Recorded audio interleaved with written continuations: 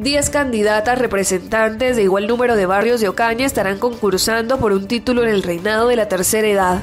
Como es usual cada 2 de enero, el barrio Villanueva se engalana con esta tradición que reúne a decenas de personas en torno a una pasarela. Las protagonistas son mujeres de la tercera edad que se inscriben previamente para participar como candidatas y obtener un destacado lugar.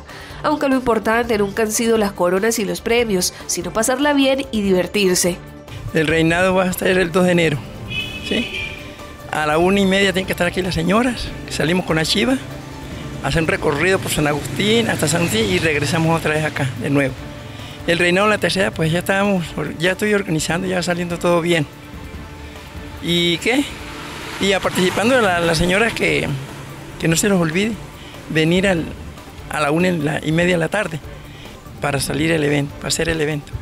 El reinado es a las siete y media empieza el, reinado acá en la plazoleta y de ahí salen después de la coronación y se termina aquí en mi casa. El Ubito, San Fermín, La Quinta y Promesa de Dios son algunos de los barrios que tendrán representación en el reinado de la tercera edad. La primera que sea la, reina es carnaval, eh, central, es la principal. Después el carnaval y después de la callejuela, que la callejuela quiere decir que fue que allá donde nació en aquella callejuela.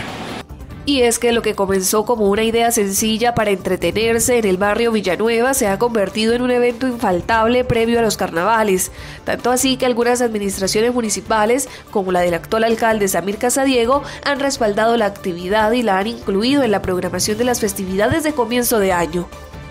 La hice fui yo, un 2 de enero, para pasar el rato aquí en Villanueva con las señoras. Y eso cerramos aquí en este lote, en este lote en esa callejuela con telas, trapos, saco y todo eso.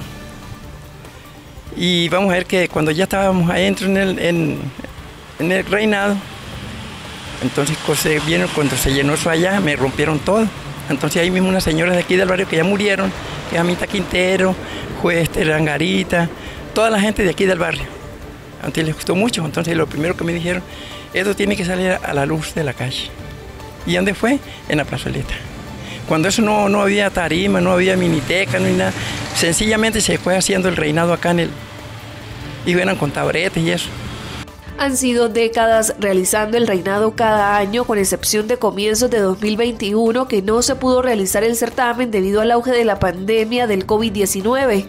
Para este 2022 el certamen va con todas las de la ley y hay una programación diseñada que incluye algunas muestras culturales que disfruten aquí el reinado de la tercera edad. Se va a tapar las calles acá porque no hay, no hay reina central ni nada, es como se va a llenar la calle. Y va a estar bonito el evento porque vienen unas danzas, van a bailar ahí. Entonces va a estar bonito el programa. El reinado de la tercera edad surgió en el año de 1982 y la idea es que el legado y la tradición perduren en el tiempo para que la comunidad ocañera siga disfrutando de estos espacios que promueven el esparcimiento y la cultura en el municipio.